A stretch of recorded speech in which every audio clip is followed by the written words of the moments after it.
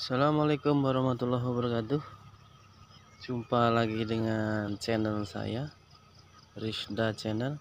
Kali ini saya nak kongsikan Atau review Macam mana tanam timun dengan kos yang rendah lah Biaya rendah Seperti ini.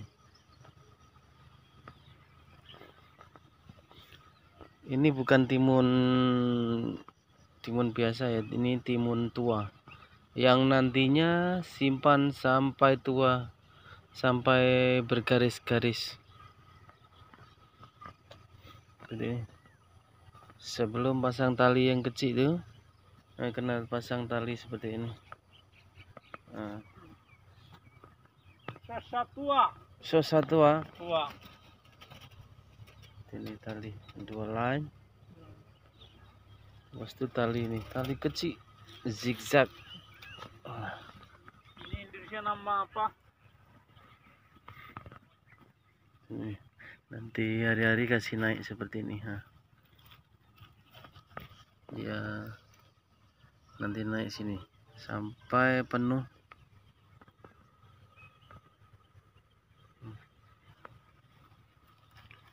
Kalau satu hari boleh siap, kira satu hari, nah, dua hari satu kali. Kalau siap orang sedikit harus hari-hari kasih naik. Kalau nampak jatuh kasih naik. Kasih dia merambat atau menjara ke tali. Nah, ini. Timun tua. Orang Cina makan buat sup. Campur daging. Daging lombu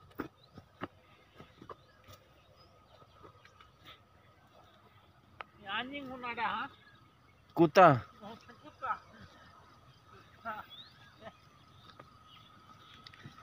Hmm.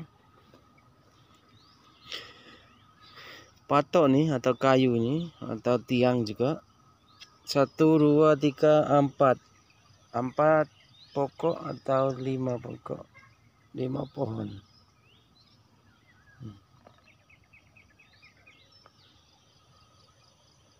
Nampak oke oke. Pokok. Sudah masanya kasih naik ini. Hmm. Seperti ini. Ikan ayo. sini ah. masih putar atau pusing nah, bagi dia naik atas pokok seperti ini Nah.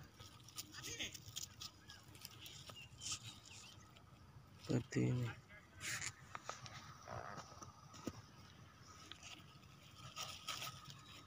timun tua. Simpan sampai besar-besar. Satu biji ada satu kilo. Seperti itu. Sampai bergaris-garis semacam rock melon. Ini. Wish. Hmm. Hmm. Seperti ini. Ini timun sama kacang panjang lain. Putaran dia. Kalau timun putaran seperti apa pun boleh. Ini ma ini macam ke ini macam ke boleh kalau timun. Tapi kalau kacang satu arah saja ini macam. Terbalik arah dia jatuh. Tak mau sangkut. Kalau kacang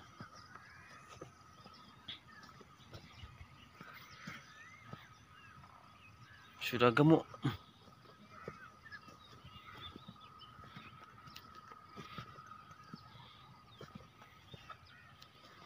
Ini kos rendah lah, biaya rendah. Pakai tali zigzag. Oh, tali belum saya tunjukkan tadi. Tali kecil atau kecil.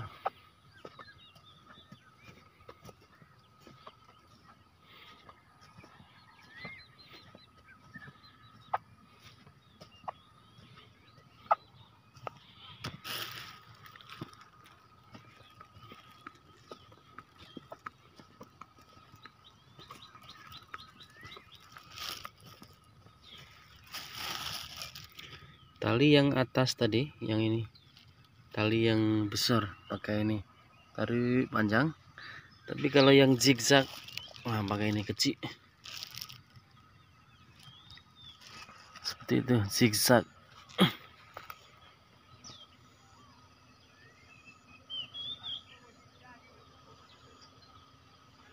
Oke sekian dulu review dari saya. Assalamualaikum warahmatullahi wabarakatuh